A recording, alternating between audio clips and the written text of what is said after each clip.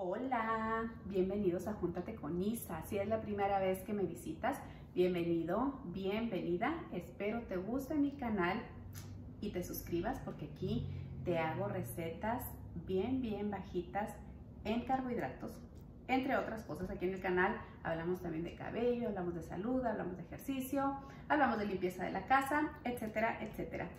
Pero hoy se trata de hacer un pan de doble queso. Esta receta no es mía, yo la saqué de YouTube de uh, una muchacha que se llama Sandy Arenas. Te voy a poner el enlace de la receta original, es receta de ella, pero mi esposo tenía muchas ganas de comer uh, algo así como tipo panecito y eh, la vamos a preparar.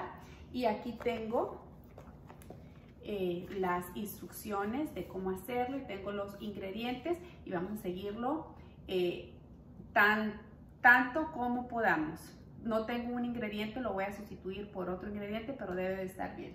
Primeramente vamos a poner el horno a 350 grados Fahrenheit, a que se vaya precalentando, o 176 grados centígrados. Y vamos a hacer eso ahorita mismo. Y ya estamos listos. Vamos a necesitar dos cucharadas soperas de mantequilla. También esto puede ser 28 eh, gramos. Voy a ponerle dos eh, tazas y un tercio de harina de almendras y esta es la harina que estoy utilizando. Cualquier harina de almendras que sea finamente eh, eh, rayada sirve. Aquí está, este es el tipo de harina de almendras que estoy utilizando y como les digo, esta es la marca y son dos tazas y un tercio. Vamos a hacer eso ahorita mismo. Una.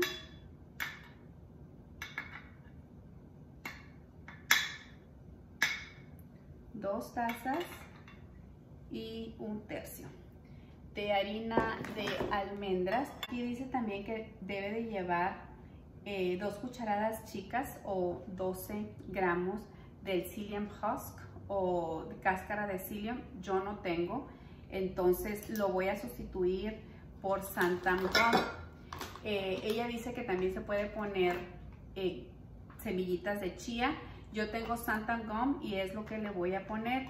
Y esto es un cuarto de cucharita chiquita y lo voy a poner aquí.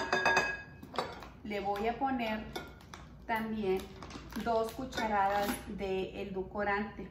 Eh, yo tengo este, edulcorante que es um, pulverizado, es el que le voy a poner y dice que son dos cucharadas o 25 gramos. Entonces es cucharada grande, estas son, las cucharadas soperas. Una y dos. Ella también dice que, que hay que ponerle 10 gotitas de stevia. Una, dos, tres, cuatro, cinco, seis, siete, ocho, nueve y 10. Vamos a poner también una pizquita de sal. La mantequilla que yo estoy utilizando ya tiene sal, entonces voy a ser eh, muy cuidadosa en cuánta sal le voy a poner. Yo creo que ahí es suficiente. Vamos a poner también media cucharada, cucharadita de polvo para hornear. Y es justamente lo que tengo. Ya se me terminó media cucharada. Yo digo que fue media cucharada. Cucharadita, media cucharadita. Voy a poner también, voy a darle una meneadita aquí. Eh, acuérdense que ya tenía la, la mantequilla derretida que le echamos primero. Entonces, a mí me gusta tanto usar las manos eh, cuando estoy mm, batiendo mis harinas y ahorita las voy a utilizar por mientras así. Voy a ponerle una taza de queso rallado. Este es el queso que yo tengo, queso mozzarella. Esta es um, la marca y es una taza. No sé si se esté viendo.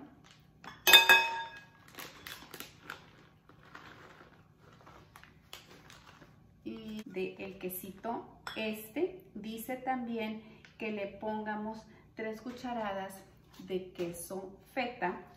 Eh, este es el queso feta que yo estoy utilizando.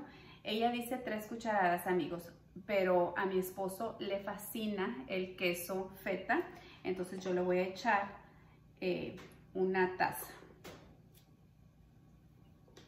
Pero si a ustedes no les gusta el sabor del queso feta, eh, pues sigan la receta de Cindy, que es la original. Yo aquí estoy haciendo esto eh, únicamente porque a mi esposo le fascina el queso feta.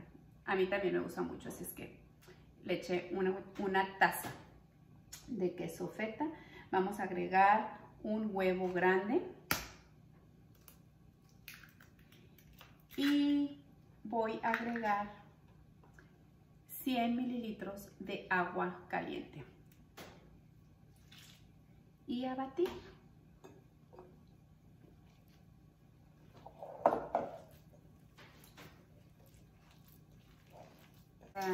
Ya, ya está mi eh, horno listo justo a tiempo. Eh, lo pueden probar amigos eh, por sal o por dulzor. Y así queda. Y voy a poner lo que mezclamos tal cual.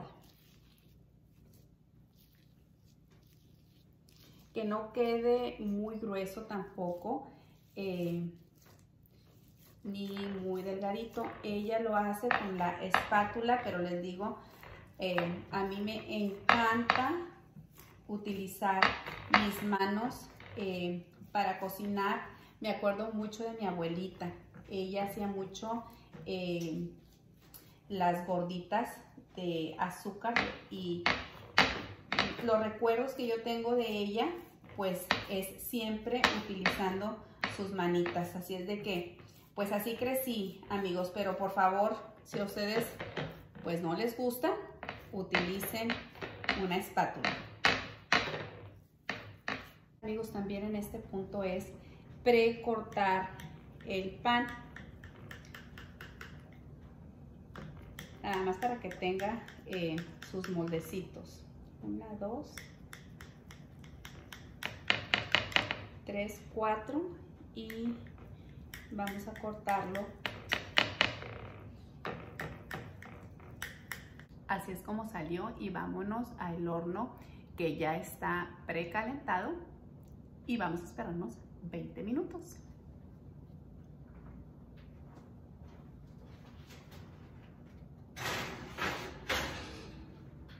el tiempo que dura el pan en el horno depende mucho de tu horno, si es de gas, si es eléctrico, hay muchos factores eh, que influyen, pero en cuanto lo vean ustedes que ya está doradito, entonces ya está listo.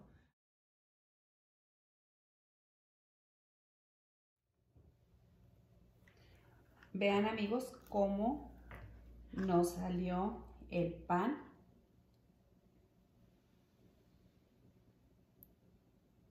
Ahorita voy a esperar a que llegue mi esposo eh, para que lo pruebe y les dé su punto de vista. Pero vamos a ver cómo salió.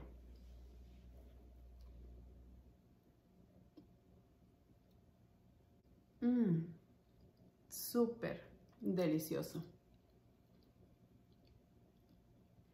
Ya que es el juez probando.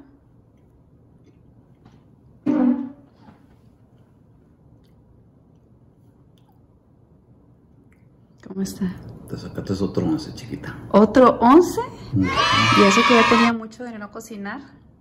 Mm. Delicioso.